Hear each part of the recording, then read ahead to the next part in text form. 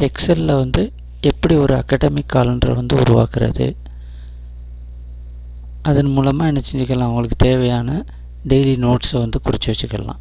ஏன்னா இப்போ நம்ம உருவாக்குற இந்த எக்ஸலில் உருவாக்கக்கூடிய கேலண்டர் வந்து இந்த ஸ்கூலில் ஸ்டூடெண்ட்ஸுக்கு உதவக்கூடிய வகையில் இருக்கக்கூடியதாக இருக்கும். அவங்களுடைய டெய்லி ஈவெண்ட்ஸை வந்து அதில் அவங்க வந்து என்ன செஞ்சுக்கலாம்? நோட்ஸ் கொடுத்து வச்சுக்கலாம்.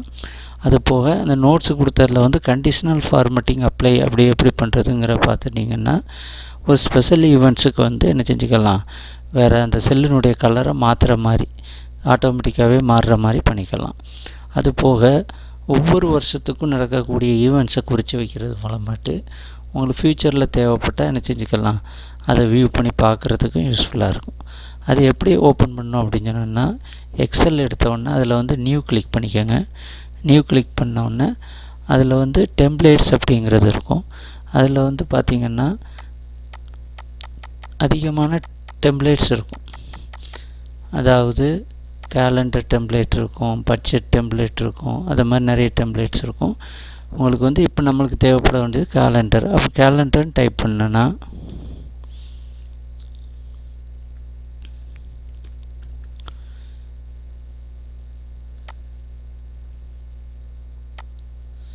கேலண்டர் டைப் பண்ணிட்டீங்கன்னா அதில் வந்து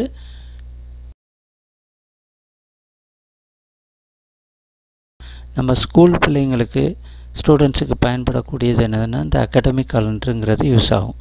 அப்போ இதை செலக்ட் பண்ணிவிட்டு கிரியேட் அப்படிங்கிறது கொடுத்துருங்க. கொடுத்துட்டிங்கன்னா உங்களுக்கு வந்து என்ன செஞ்சிடும் அந்த கேலண்டர் ஓப்பன் ஆயிரும்.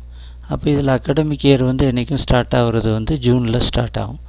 அப்போ ஜூனுங்கிறத கொடுத்துக்கோங்க. கிளிக் பண்ணிட்டீங்கன்னா ஜூன் மந்த்து வந்துடும் அப்போ இதில் வந்து வருஷம் என்ன வருஷமோ அதை கொடுத்துக்கணும். டிஃபால்ட்டாக என்ன வருஷம்னா கரண்ட்டாக என்ன இயர் இருக்கோ அதுக்குள்ளே இயர் வந்துடும் நம்மளுக்கு இதில் வந்து நைன்டீன் ஒன்னா டூ தௌசண்ட் நைன்டீன் கொடுத்துக்கலாம். அல்லது டூ தௌசண்ட் டுவெண்ட்டி ஒன் வேணுனாலும் கொடுத்துக்கலாம்.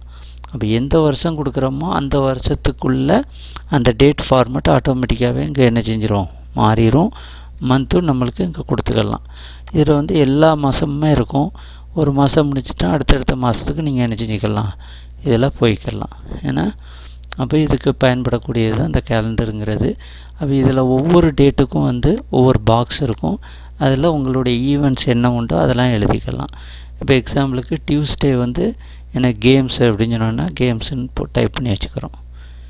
அதே மாதிரி வந்து இந்த இது வந்து இருபத்தி மூணாந்தேதி ஹோம் ஒர்க் பண்ண சொல்லியிருக்காங்க.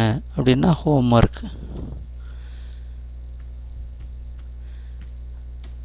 அப்படிங்கிற மாதிரி கொடுத்துக்கலாம். அப்போ அதே மாதிரி வந்து சாட்டர்டே வந்து நைன்டீனில் வந்து கேம்ஸு அப்போ இதை வந்து ஸ்டூடெண்ட்ஸ் வந்து ஒவ்வொரு நாளுமே வந்து அவங்களுடைய அந்த கேலண்டர் எழுதக்கூடிய பழக்கத்தை வந்து இதன் மூலமாக என்ன செஞ்சுக்கலாம் குறித்து வச்சுக்கலாம். அது மூலமாக ஃப்யூச்சரில் அவங்களுக்கு யூஸ் ஆகக்கூடியதாகவும் இருக்கும். அந்த மாதத்துக்குள்ள நோட்ஸ் அப்படிங்கிறத வந்து இதில் கொடுத்துக்கலாம். ஏதாவது ஸ்பெஷல் அதாவது எக்ஸாம் பற்றிய டீட்டெயில் எதுவும் இருந்தாலோ இல்லைன்னா அந்த ஸ்டடி பற்றிய டீட்டெயில் இருந்தாலோ இதில் கொடுத்து வச்சுக்கலாம்.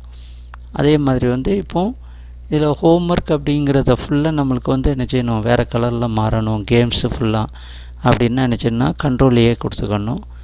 கண்ட்ரோலையே கொடுத்து ரெண்டு தடவை கண்ட்ரோலையே கொடுத்துட்டா ஃபுல்லாக செலக்ட் ஆகிரும் அப்போ இதில் வந்து கண்டிஷ்னல் ஃபார்மேட்டிங்னு இருக்கும்.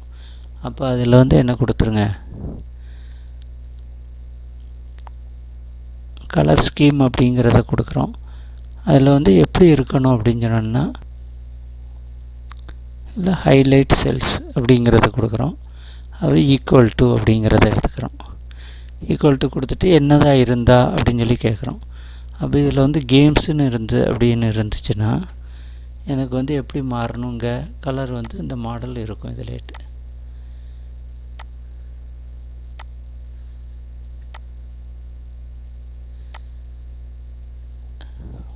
ஓகே கொடுத்துட்றீங்க.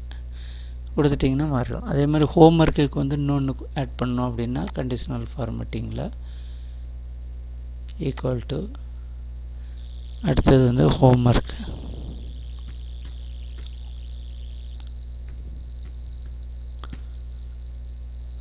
இது எப்படி மாறணும்னா வேறு மாதிரி க்ரீன் ஃபில் ஓகே இப்படி செட் பண்ணிட்டீங்கன்னா உங்களுக்கு வந்து என்ன செஞ்சிடும் இப்போ சப்போஸ் அடுத்த மாதத்தில் ஜூலை மாதத்தில் ஹோம்ஒர்க்குன்னு டைப் பண்ணிங்கன்னா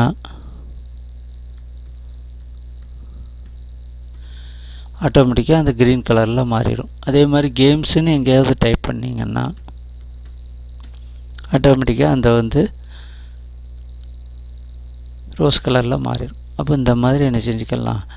ஒரு அகாடமி காலண்டரை வந்து உருவாக்கி அதை நம்மளுக்கு தேவையான கண்டிஷனல் ஃபார்மேட்டிங் கொடுத்துக்கலாம். ஏன்னா